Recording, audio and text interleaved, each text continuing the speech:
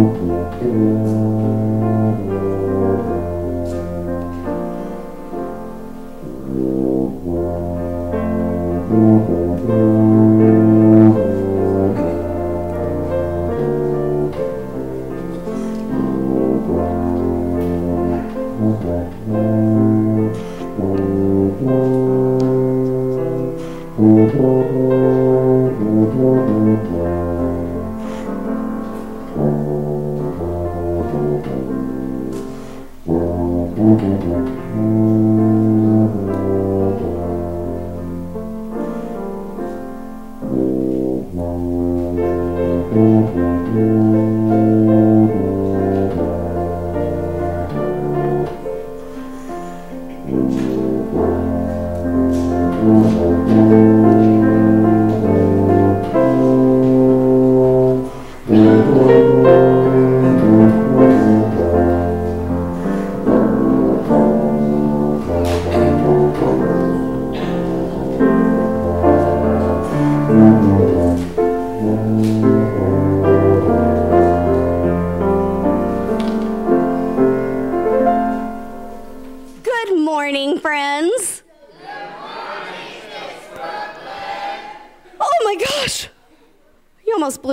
eardrums out.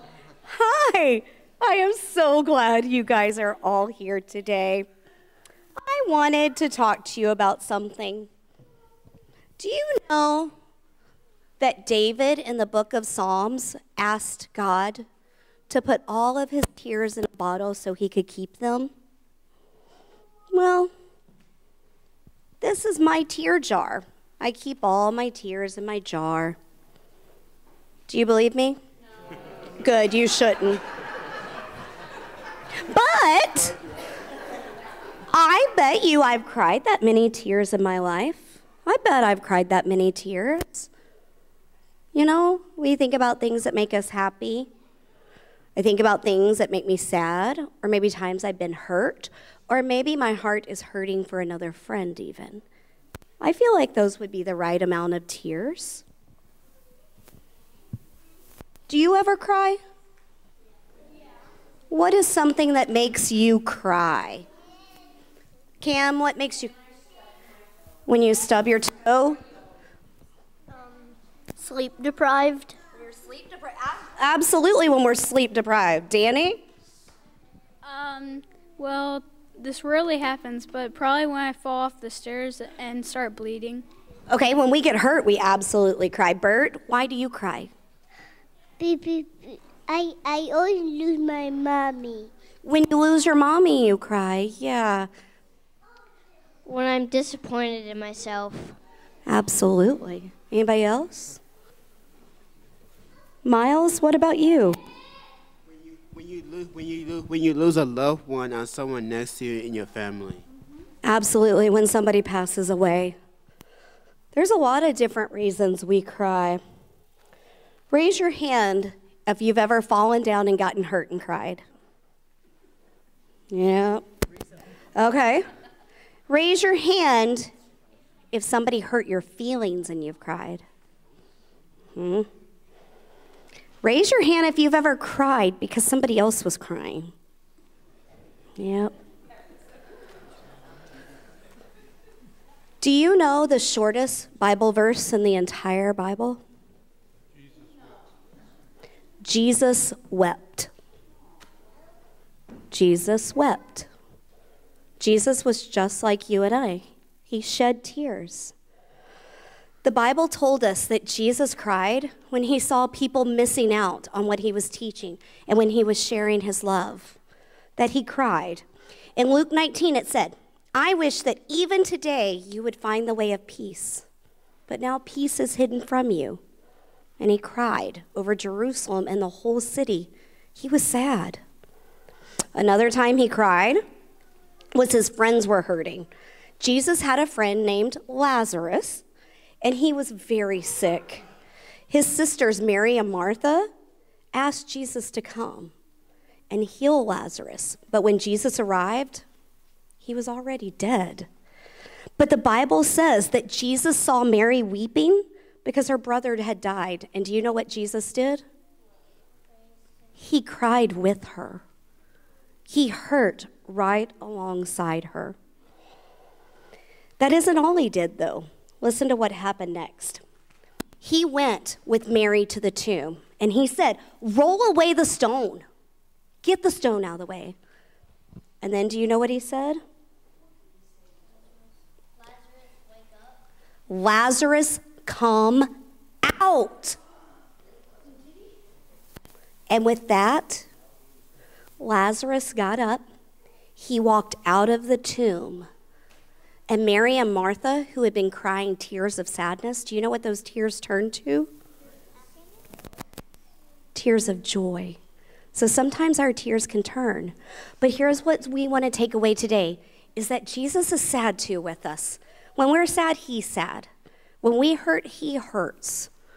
He's just like us with those feelings. And it is absolutely okay if we all cry. Do you think you could help comfort friends that you see sad this week?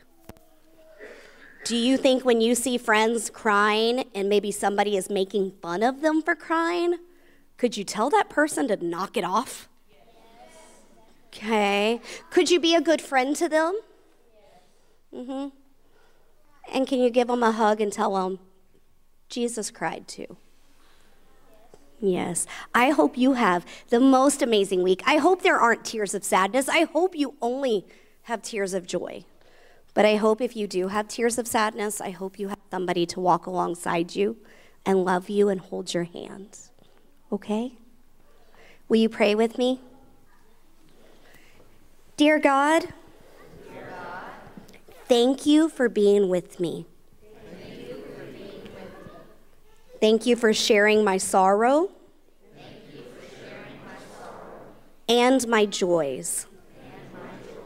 Help me, to be more like you. Amen.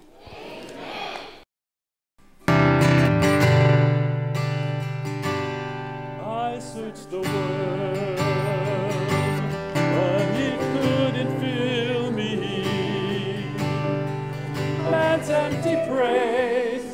that fade are never enough.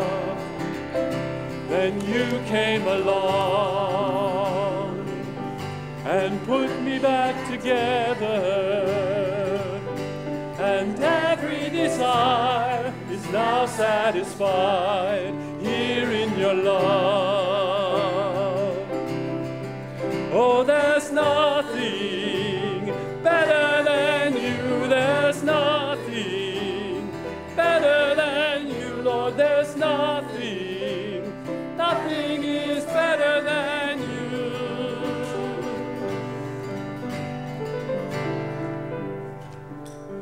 Now I'm not afraid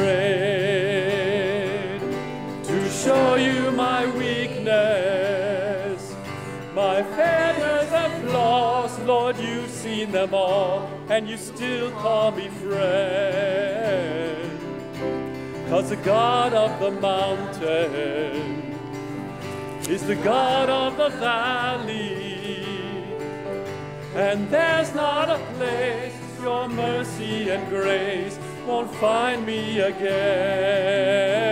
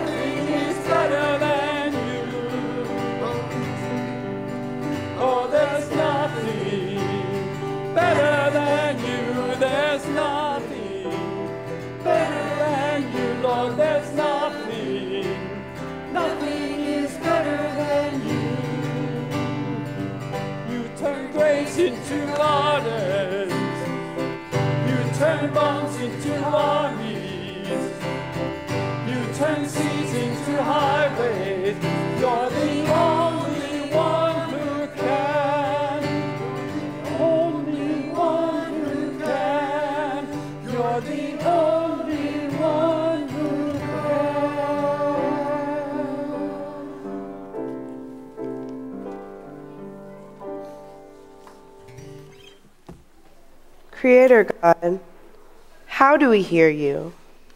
How do we find you? How do we know that these bones can live? Today, we bring our raw selves into this space, asking that once more you would rush through this room like a mighty wind. Remind us that these bones can live. Speak to us in your still, small voice, and let it be loud enough to speak to the sorrow of the day. Help us listen to the hope that you breathe into every word. With open hearts we pray. Amen. Today's Old Testament reading comes from Ezekiel 37, verses 1 through 14. The hand of the Lord came upon me, and he brought me out by the Spirit of the Lord and set me down in the middle of a valley. It was full of bones. He led me all around them. There were very many lying in the valley, and they were very dry. He said to me, Mortal, can these bones live? I answered, O Lord God, you know. Then he said to me, Prophesy to these bones, and say to them, O dry bones, hear the word of the Lord. Thus says the Lord God to these bones I will cause breath to enter you, and you shall live. I will lay sinews on you, and will cause flesh to come upon you, and cover you with skin, and put breath in you, and you shall live. And you shall know that I am the Lord. So I prophesied and as I had been commanded, and as I prophesied, suddenly there was a noise, a rattling, and the bones came together, bone to its bone. I looked, and there were sinews on them, and flesh had come upon them, and skin had covered them, but there was no breath in them. Then he said to me, Prophesy to the breath, prophesy, mortal, and say to the breath, Thus says the Lord God, Come from the four winds, O breath, and breathe upon these slain, that they may live. I prophesied as he commanded me, and the breath came into them, and they lived and stood on their feet, a vast multitude. Then he said to me, Mortal, these bones are the whole house of Israel. They say, Our bones are dried up, and our hope is lost. We are cut off completely. Therefore prophesy and say to them, Thus says the Lord God, I am going to open your graves and bring you up from your graves, O my people, and I will bring you back to the land of Israel. And you shall know that I am the Lord when I open your graves and bring you up from your graves, O my people. I will put my spirit within you, and you shall live, and I will place you on your own soil. Then you shall know that I, the Lord, have spoken and will act says the Lord. The word of the Lord. The hand of the Lord was upon me, and he brought me to the middle of a valley. Well, I couldn't believe what I saw there, the total devastation of an army.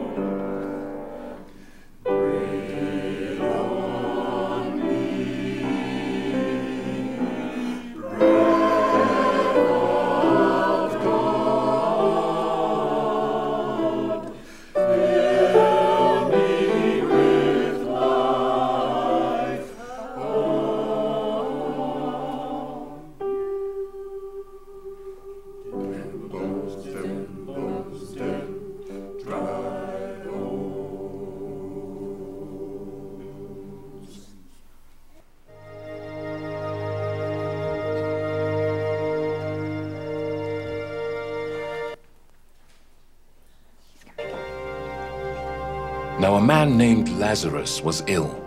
He was from Bethany, the village of Mary and her sister Martha. This Mary, whose brother Lazarus now lay ill, was the same one who poured perfume on the Lord and wiped his feet with her hair. So the sisters sent word to Jesus Lord, the one you love is ill. When he heard this, Jesus said, This illness will not end in death. No, it is for God's glory, so that God's Son may be glorified through it. Now Jesus loved Martha and her sister and Lazarus. So when he heard that Lazarus was ill, he stayed where he was two more days. And then he said to his disciples, Let us go back to Judea. But Rabbi, they said, a short while ago the Jews there tried to stone you, and yet you are going back? Jesus answered, Are there not twelve hours of daylight? Anyone who walks in the daytime will not stumble, for they see by this world's light. It is when a person walks at night that they stumble, for they have no light. After he had said this, he went on to tell them, Our friend Lazarus has fallen asleep, but I am going there to wake him up. His disciples replied, Lord, if he sleeps, he will get better. Jesus had been speaking of his death, but his disciples thought he meant natural sleep. So then he told them plainly, Lazarus is dead. And for your sake, I am glad I was not there, so that you may believe. But let us go to him.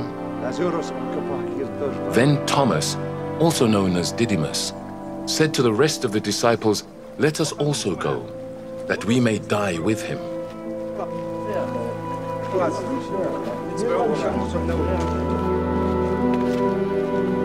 On his arrival, Jesus found that Lazarus had already been in the tomb for four days. Now Bethany was less than two miles from Jerusalem, and many Jews had come to Martha and Mary to comfort them in the loss of their brother. When Martha heard that Jesus was coming, she went out to meet him, but Mary stayed at home. Lord, Martha said to Jesus, if you had been here, my brother would not have died. But I know that even now God will give you whatever you ask.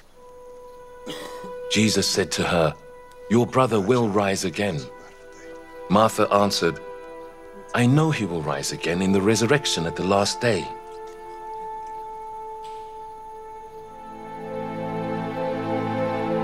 Jesus said to her, I am the resurrection and the life. The one who believes in me will live, even though they die. And whoever lives by believing in me will never die. Do you believe this? Yes, Lord, she replied. I believe that you are the Messiah, the Son of God, who is to come into the world. After she had said this, she went back and called her sister Mary aside. The teacher is here, she said, and is asking for you. When Mary heard this, she got up quickly and went to him. Now Jesus had not yet entered the village, but was still at the place where Martha had met him. When the Jews who had been with Mary in the house, comforting her, noticed how quickly she got up and went out, they followed her, supposing she was going to the tomb to mourn there. When Mary reached the place where Jesus was and saw him, she fell at his feet and said, Lord, if you had been here, my brother would not have died. When Jesus saw her weeping, and the Jews who had come along with her also weeping, he was deeply moved in spirit and troubled. Where have you laid him? he asked. Come and see, Lord, they replied. Jesus wept. Then the Jews said, See how he loved him. But some of them said, Could not he who opened the eyes of the blind man have kept this man from dying?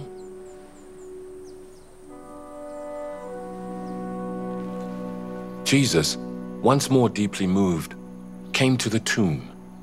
It was a cave with a stone laid across the entrance. Take away the stone, he said. But Lord, said Martha, the sister of the dead man, by this time there is a bad odor, for he has been there four days. Then Jesus said, Did I not tell you that if you believe, you will see the glory of God?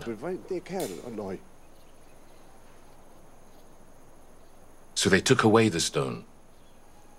Then Jesus looked up and said, Father, I thank you that you have heard me. I knew that you always hear me, but I said this for the benefit of the people standing here, that they may believe that you sent me. When he had said this, Jesus called in a loud voice, Lazarus, come out.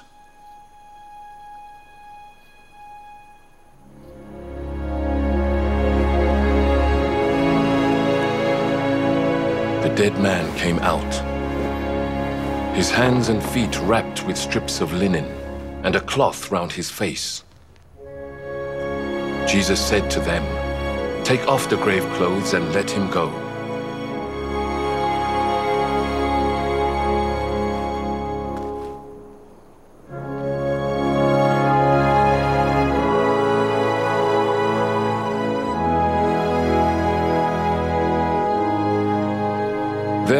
Many of the Jews who had come to visit Mary and had seen what Jesus did believed in him.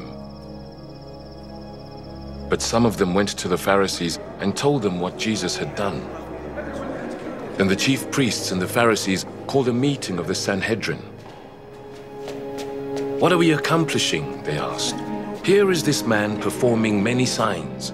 If we let him go on like this, everyone will believe in him. And then the Romans will come and take away both our temple and our nation. Then one of them, named Caiaphas, who was high priest that year, spoke up. You know nothing at all. You do not realize that it is better for you that one man die for the people than that the whole nation perish. He did not say this on his own. But as high priest that year, he prophesied that Jesus would die for the Jewish nation. And not only for that nation, but also for the scattered children of God, to bring them together and make them one. So from that day on, they plotted to take his life. Therefore, Jesus no longer moved about publicly among the people of Judea. Instead, he withdrew to a region near the wilderness, to a village called Ephraim, where he stayed with his disciples.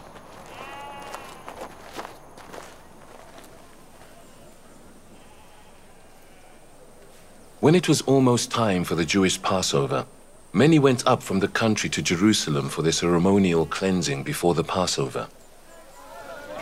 They kept looking for Jesus, and as they stood in the temple courts, they asked one another, What do you think? Isn't he coming to the festival at all? But the chief priests and the Pharisees had given orders that anyone who found out where Jesus was should report it so that they might arrest him. Some of you may know my love for country music. Just before spring break, Camden and I went to see Carrie Underwood belt her little heart out at American Airlines Arena. I'm also excited to see Shania Twain with Reverend Miranda this summer and then Jon Pardi in December. Now, as Carrie was singing her biggest hit, to the last song of the concert, in which a man discovers consequences for cheating on his woman, reminded me of one of my favorite jokes. What happens when you play a country song backwards? Huh? You get your wife back, you get your truck back, your house back, your dog back, your job back. Huh? Huh? Y'all got it today. Good job. Getting back what was previously lost forever. That is an underlying gospel message and one that has resonated with the readings from John's gospel that we've had this month. A Samaritan woman gets her Jewish family back. A man born blind gets his sight back. And today, beloved women get their beloved brother back. We're nearing the end of our Lenten series. Did you hear next week is Palm Sunday?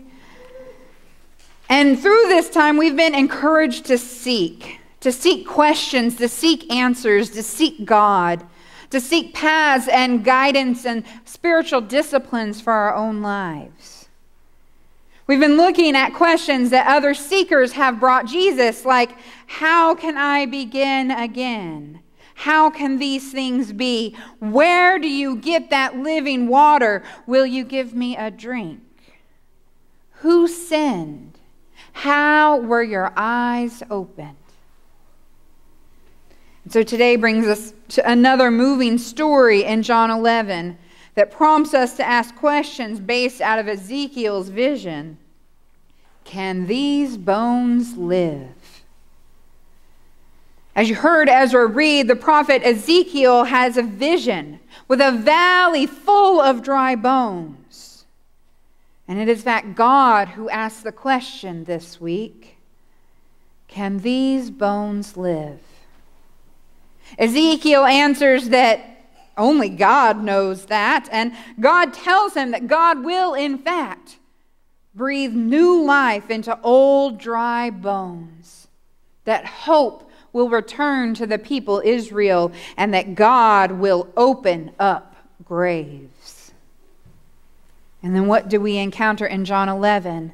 But in fact, a grave opened by God with new life inhabiting old bones. Yet somehow Lazarus' resurrection almost comes as an afterthought. The bulk of the first part of this chapter is dedicated, in fact, to Jesus' intentional actions and teachings and his conversation with Lazarus' sister, Mary and Martha. In fact, some scholars argue that instead of calling this passage the raising of Lazarus, it should be titled The Confession of Martha. You see, Martha couldn't even wait for Jesus to get to her house. Instead, she seeks him out on the road, on the way, seeking answers, seeking comfort, seeking reasons why. It is Martha and then Mary who hold up a mirror to our own spiritual lives. I love the acting of Martha in this, full of that accusing tone and grief and faith. If you had been here, Jesus, our brother wouldn't have died. Even the whispers of the other mourners were going around saying, if he could open the eyes of a blind man, surely he could have saved his friend whom he loved. Jesus gently reassures Martha that her brother will rise again. Like Nicodemus, the woman at the well, and the man born blind, the immediate response to Jesus is misunderstanding. I can almost hear Martha sigh as she wonders why Jesus is resorting to platitudes and speaking of general resurrection of the future. Yes, as a faithful Jew, she knows about it. But what difference does that faraway day make now in the midst of her grief? Martha only sees Jesus' promise in the future unable to imagine resurrection as a present reality. This past week, I attended the funeral for a woman a year younger than me who died as a result of a car crash. This particular family has had so much grief and faith struggles this year. One lost her job. Both mom and dad in this family lost their friends and their church. Another family member diagnosed with a terminal illness. So this death felt particularly cruel. That Lindsay, who was born disabled with a life expectancy of two to five years, had her life taken at 37. You had been there, Jesus. Couldn't you have saved her? Couldn't you have made that other car swerve? Couldn't you have made those teenagers in that car make different decisions? Couldn't you have saved this family some grief right now? Where were you in that car crash, in the hospital, and those doctors who missed her internal injuries? You ever asked anything like that? We learn from Mary and Martha Jesus can handle these questions. He doesn't turn away from them or reject them for little faith. Instead, he absorbs their very real emotion and confidence in him and complaints and puts them to use for the glory of God. He also reveals his very self to Martha, showing his true identity this time not to a stranger, but to a beloved and cherished friend. I am the resurrection and the life, he tells her. And then, like the final stage of faith progression for the man born blind, Martha boldly tells Jesus, Lord, I believe, making a formal confession of faith. In her grief, standing near the grave of her brother, she still has faith. She still believes in Jesus even though everything has gone wrong. Can these bones live? It's not a question of doubt, it's a question of faith.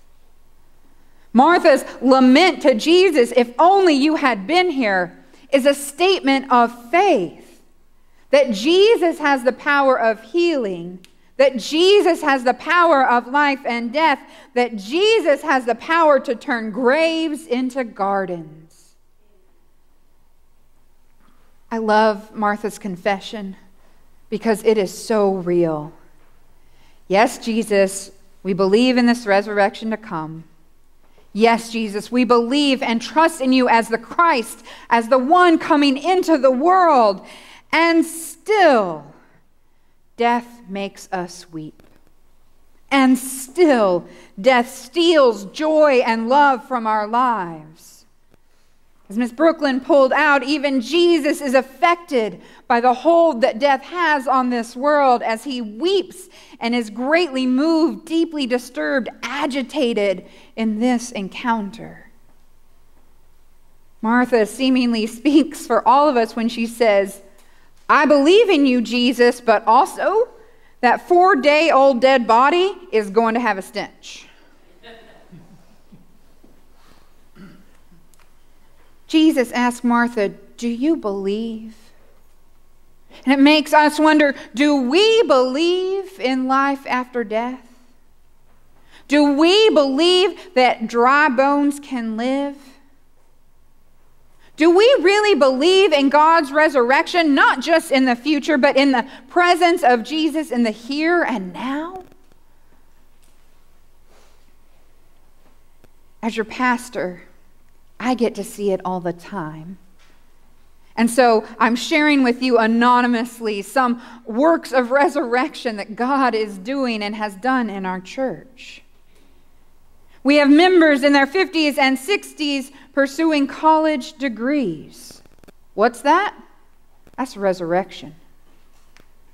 We have many members, including most recently a 27 year old and my dad, who have sat in a doctor's office and heard those words remission. What is that? It's resurrection. We have those who have lost loved ones and yet found their adventure with God is not over. It's resurrection. We have those who have faced the black dog of depression, hopelessness, and despair, who have almost died by suicide, and yet new life found them and unbound them and called them out of the tomb, and that is resurrection. We have those in our midst who are recovering alcoholics and those who are trying every day to make the choice of new life. And what do we call that? Resurrection. We have those who are bound in shame by miscarriages of justice for years, only to be liberated by Christ and set free from that guilt. And what is that? Resurrection. We have children whose speech that was delayed are now chatting up storms. And what is that? Resurrection. We have those who survived vocational crises. And what is that? Resurrection. We have walking medical miracles who have overcome trial after trial and continue to offer their gifts to the Lord. And that is nothing but resurrection. We have those who, after a hard end to a first marriage, found love and decades of a good marriage again. And that, my friends, is resurrection. And I don't doubt that we have those who simply being here this morning feels like a miracle. And friends, that's resurrection. Resurrection pulls us out of that dark valley of dry bones so we might live again. Not just at some point in the future, although that's cool too, but today. Now, I want to be clear there's, there's a lot of mystery around resurrection. Amen? We don't always get the resurrection we want. Certainly not at our beck and call or a magic wand that fixes everything. Death still causes us to weep and rage and lament. But knowing Jesus is the resurrection and the life means that we can trust that the worst thing is never the last thing. As the Reverend Dr. Karoline Lewis puts it, this is the heart of the story of Lazarus. Resurrection is not a confession. Resurrection is not a theory. Resurrection is not some sort of ambiguous promise. No, resurrection is real. Resurrection is relationship with God. Resurrection is now. Friends, look around this morning. Actually, turn and look.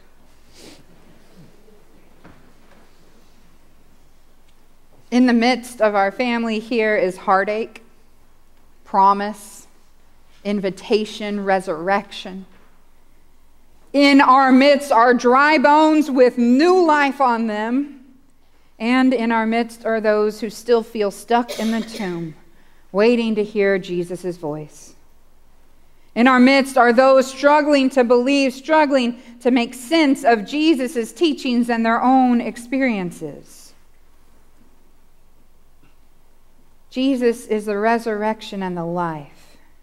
And yet, he doesn't hoard that power, he shares it with others. As he calls Lazarus out of the tomb, he invites those around him, unbind him, and set him free.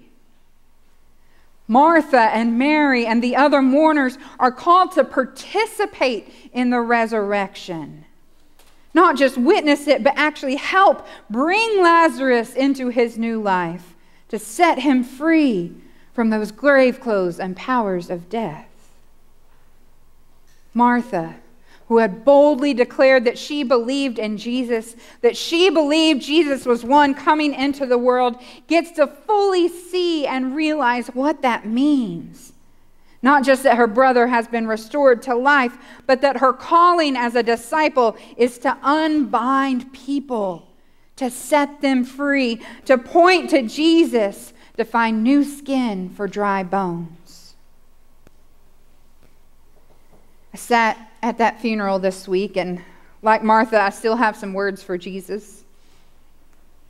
But I found hope in the gospel that was read and proclaimed and then in the gospel embodied around me. For that morning, the church was filled with hundreds of people.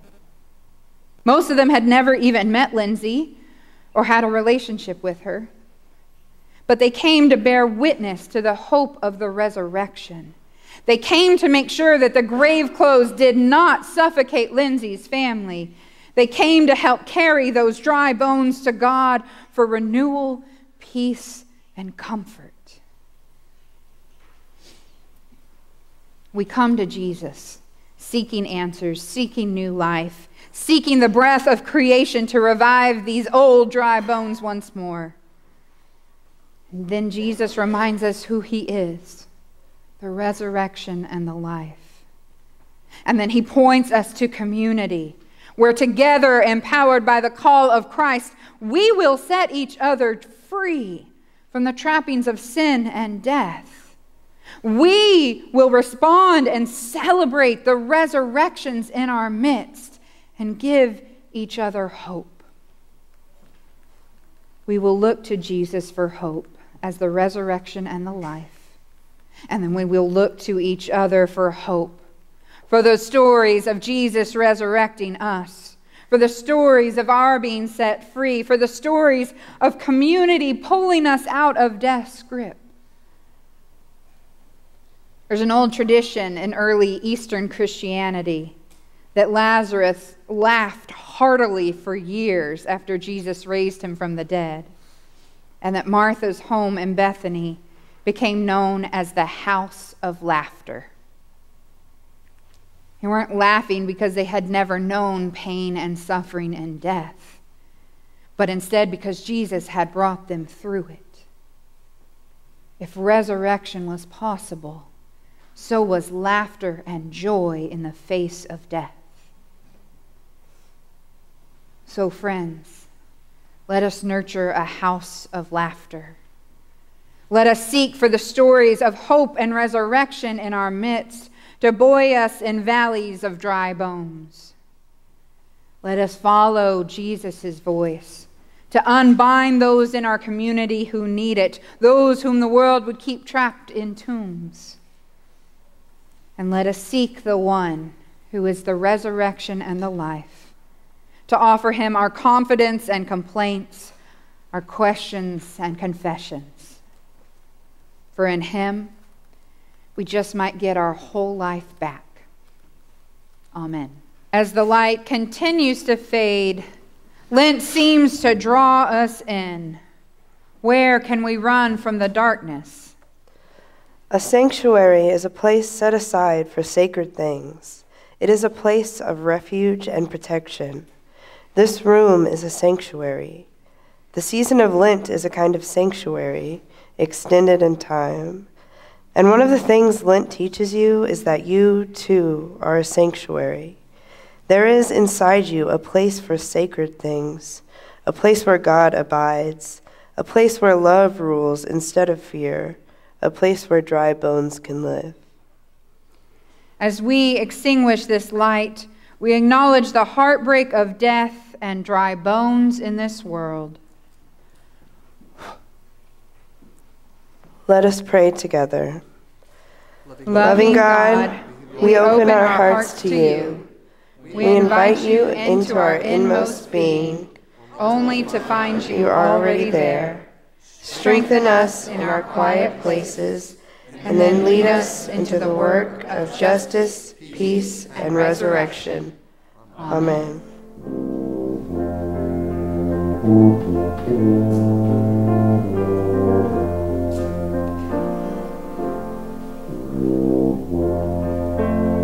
Mm-hmm.